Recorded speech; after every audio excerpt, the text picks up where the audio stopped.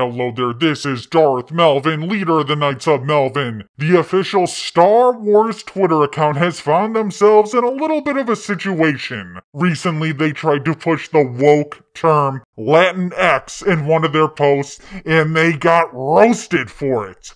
If you didn't know, Latinx is a woke term created by the nutjobs to be more gender inclusive. Well, if you know anything about language, the Romance languages, they deal with words that are masculine and feminine. Something like Latinx that is neutral doesn't exist, it's a made up word. Latinx is something a woke lunatic made up, and now companies like Disney are picking it up and trying to push it as propaganda, and they got called out.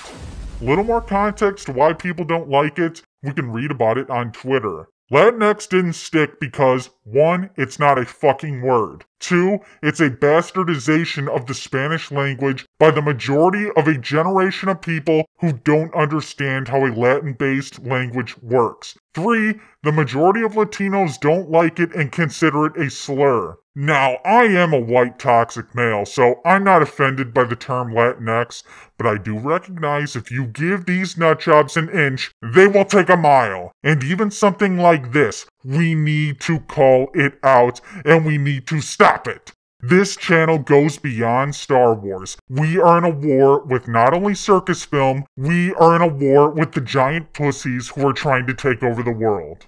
Good. We don't like being referred to as Latinx. Thank you for acknowledging that we don't accept it and that it's disrespectful to try and change our language. So the official Star Wars Twitter account did go out of their way to change it from Latinx to Latin representation. And then they didn't apologize, but they did provide an update. We listened to our community and made necessary edits in support of our Latin fans. And you can even see they did change the website. There is no more Latinx, it is just Latin. I guess this means case closed. Am I right?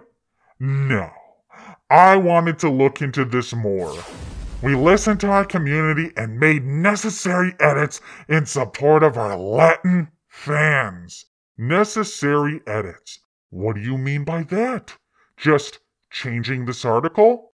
Because I did a quick Google search and I came across the official Star Wars Facebook page. In celebration of Hispanic Latinx Heritage Month, one of our StarWars.com writers looks back at the impact Star Wars had on his life and the saga's relationship with his culture. I bring this up because the official Star Wars Twitter account said they listened to our community. Well, they didn't listen to their community a year ago. There's no such thing as the word Latinx. 121 likes. Can somebody please tell me what Latinx is? My grandparents were wondering. His grandparents are probably wondering what the fuck kind of world are we living in now? Better focus on making decent Star Wars movies instead of trying to push made up words to be inclusive. Here is the article from 2021.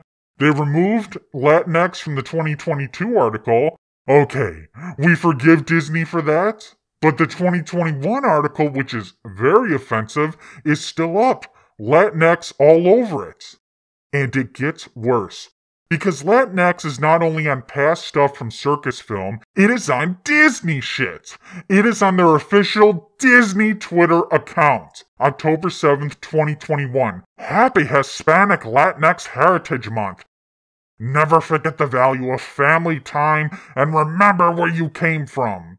Hashtag Hispanic Latinx Heritage Month. Celebrate Hispanic Heritage Month with these books written by Hispanic Latinx authors, courtesy of At Disney Books.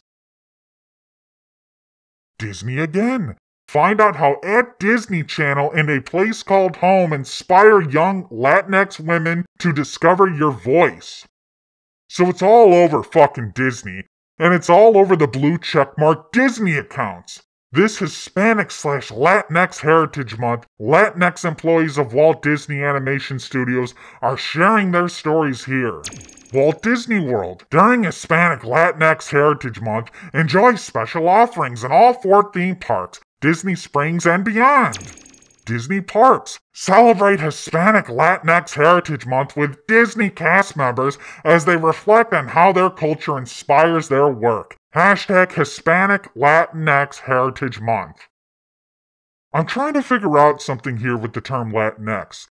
I guess there's a statute of limitations on racism and offensive terms because everything from 2022 is gone, but everything from 2021 remains. I'm just wondering, going back to what the official Star Wars Twitter account said, we listened to our community and made necessary edits in support of our Latin fans. Was deleting stuff from 2021 not necessary? I think this is something we need to bring to their attention. Was deleting the 2021 Latinx post not necessary? And back to the author of this blog, Carlos Miranda. He really likes to use the term Latinx. You can see so in his Twitter account. Can't handle the amount of Latinx firepower in this picture. Then here's the original article, Latinx representation. Then here, Latinx in space. This guy is out of control. This was in 2022. I guess according to Disney standards, he is not in line with their policy. Hey, we'll just remove everything from 2022 and it will be alright. I'm afraid that is wrong. People are going to be very upset about this. Carlos Miranda is gonna have to answer. I think Carlos Miranda needs to be called out. It's not Latinx. Disney Star Wars is trash. You know, this topic is very interesting because there wasn't many people that raised concern over this post by the official Star Wars Twitter account. And it just lets you know that Disney sees you. They see me. They see the Knights. They see the real fans of Star Wars. And that is why, from the beginning of this channel, I was saying we need to make our voices heard. I'm going to continue my movement to hashtag avenge Star Wars. Disney is going to pay for fucking up Star Wars. And if we can't save Star Wars, you be damn well sure we'll avenge it. Become a knight, subscribe to the channel, join the Knights of Melvin Discord, help plot to take down Disney and all their shills.